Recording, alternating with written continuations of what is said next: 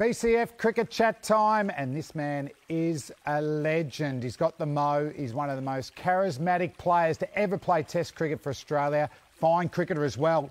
200 Test wickets, a thousand runs. It's Mervyn Gregory Hughes. Merv, thanks for joining us today. Flem, pleasure to be here. Cheers.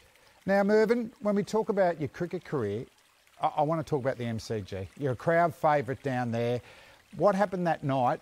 One day cricket, you start doing some exercises. when did you know the crowd were doing exactly what you were doing? Well, I'm a bit old, Flem, so I played before the, the screens were up. So I, I do an exercise. So Carl Rackemann and Terry Alderman, must be said, started the game really well, playing Pakistan, rain delayed game. I get the, the sign to uh, warm up from, from Allan Border. So I start warming up. Every time I do an exercise, bit of a rule behind you, I look around, nothing happening. I'm thinking, what's going on?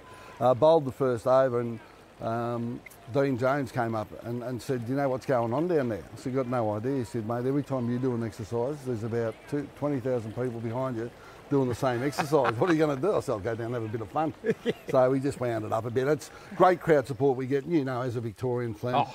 The support we get at the MCG is phenomenal. And what happened to your one day career? You've got a theory behind it. Yeah, well, the, the pants only went up, yellow pants only went up to 36s. And unfortunately, I was a, you just a 36 into 37? At best, 38.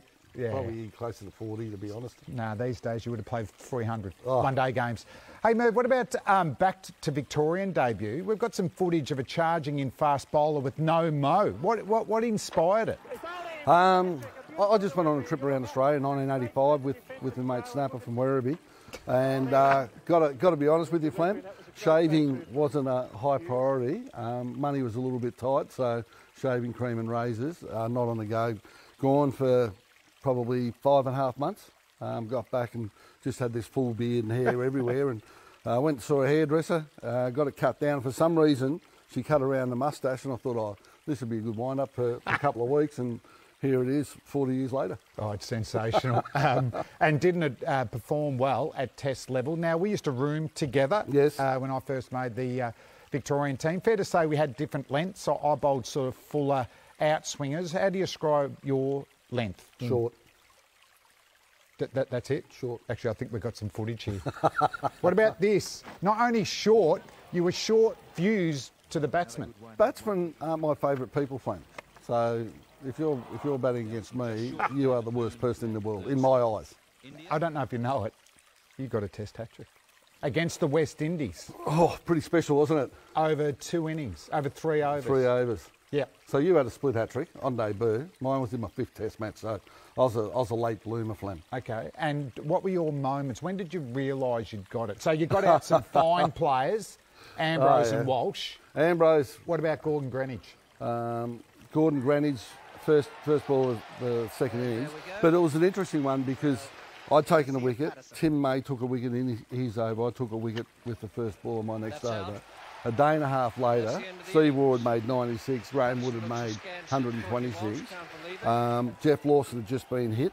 We're going out onto the ground, so we've got five overs to bowl um, before stumps that night. And we're all pretty fired up because Geoff Lawson's been oh, yeah. hit. And I said I went a, a, bit over the top with the Gordon Greenidge dismissal um, because I knew I had a hat trick, didn't know I had a hat trick. I found out at the end of the next over, so I bowled that over. Tony Dodemaide bowled the next over. Steve Waugh came down from, from slip to grab my cap and jumper and just said, oh, I think you got a hat trick. And I, no, I don't think so. I needed Richie Richard. No, no, well, listen to this. And I said, I'm not sure. He said, we're pretty sure about it. Oh I said, what makes God. you so sure? He said, oh, we just heard on the PA system. You'd feel cheated. I know you'd take it, but you want the build-up. Um, yeah, I, I, I, don't know. I, I reckon if I had known it was I was on a hat trick, you'd, you'd try something special. And well, I reckon you'd Well, in hindsight, you actually bowled full. Where would you have bowled? Short. Short. Yeah. Um, test 70 against the West Indies. Yes. Yeah, you found it hard batting in Test cricket when you first got in. I think it took a few innings to get off the mark. Yeah, three. But you made the Windies pay here. Oh. And they're bowling short to you. Yeah, I've only got one shot just hoik over over square leg. There it goes. Um, but it was an interesting one that because um, I got in and Bob Simpson was a big one on if you're batting with a batsman, yeah. hang around for as, as, long as you can and um, just prided myself back then on on batting with batsmen. So to have a 50 partnership with uh, Mark Taylor, with Bernie, with Steve Waugh, with with Dino. Um, that's what you did. But when you bat with Did the you tail, really? Did get you, on with it. Did you really have a 50-run partnership with Mark Taylor? He was opening. Yeah, It never I happened. Did, no, watch me. Did you? Yeah. Oh, really? Fantastic. I didn't know that. Hey, um, you got a hat trick test 70? Yep. I've got a hat trick test 70. We should form a club. We've got a club. Oh, we have. Yeah. Uh, Warney's in. Yeah, we should induct someone else. All. Peter he's got a hat trick. Yeah, didn't get a test 60. Didn't he? No, he didn't, unfortunately. Hey, um, talking about your career, what about um, you enjoyed yourself over in South Africa? I had a ball in South Africa, 94, What about my the heckle tour. as you were coming out to bat? or back off at lunch or tea? Yeah, it was a rain delay, to be honest, and uh, at that stage we needed about 230 runs to win, um, with about three and a half hours to bat. Oh. I'm batting with Tim May, we're Yeah. nine down. I'm thinking we're going for the runs, we can't bat that time. Rain delay, you get off the ground as quick as you can, and this bloke had something to say, and I found it offensive, so I just Yeah. went back to have a bit of a chat to him. And just, just spoken through. Any truth or rumour it was actually Paul Reiffel who didn't get a game in that test match? Is that true? No, it's not, but it could have been. I It have reckon. I reckon Pistol could have paid paid some money to get that done. Um, enjoyed the chat. And everyone's a winner here.